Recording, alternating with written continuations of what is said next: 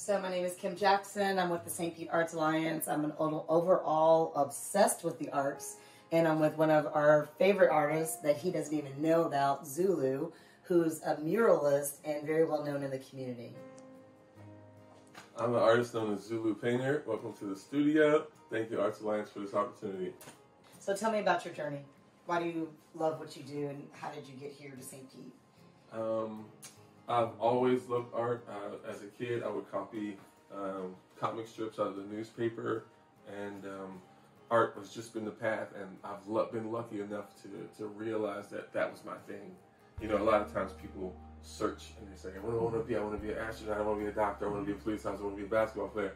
Uh, it's always been art. Nothing has ever stopped it. In fact, like I'm a big guy, so I let a lot of people down. They wanted me to be some type of football player, basketball player, and I'm like, nah, I just want to, create.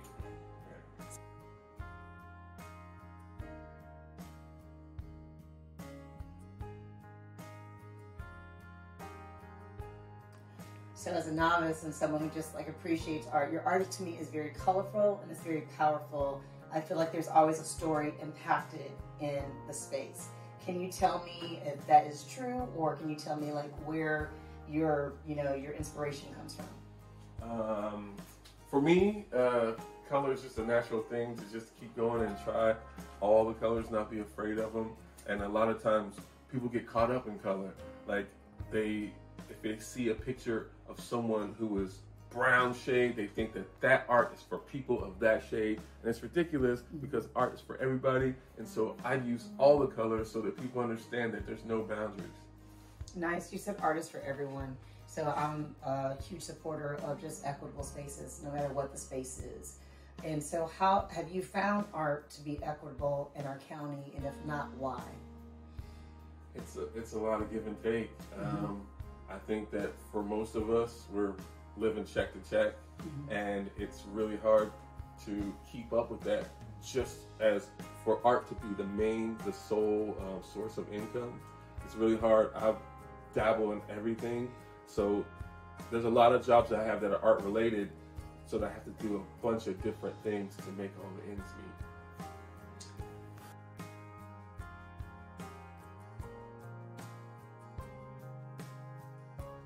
What do you think that the Art Alliance is doing well, and what can we do better?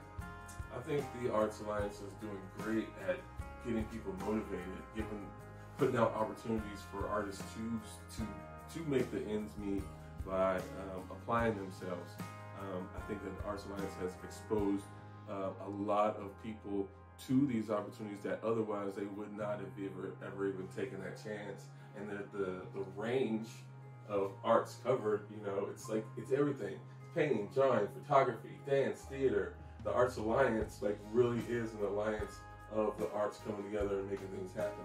Um, to do anything better just requires uh, people at a higher level to see the benefits of the arts on communities and how it can bring people together and to like vote or legislate things that will provide more funding so artists can live that life and contribute to their communities.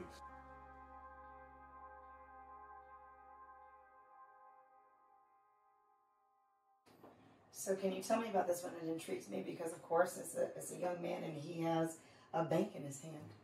And um, looks like there's smoke coming from a building. So.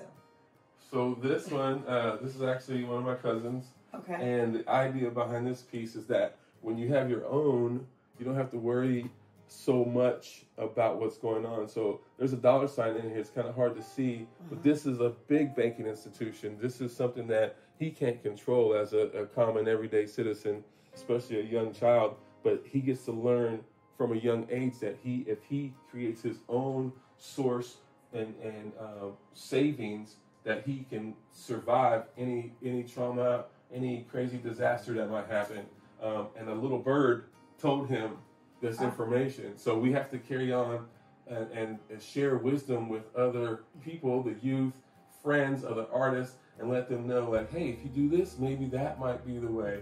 So he's got his piggy bank. He's not going to worry about what's happening over here with the big big business, the, the big banking system. He's got his own thing going on. His own destiny. Yes. Yes. Yeah. Yes, All right. Well, it was a pleasure. Thank you so much. Thank you.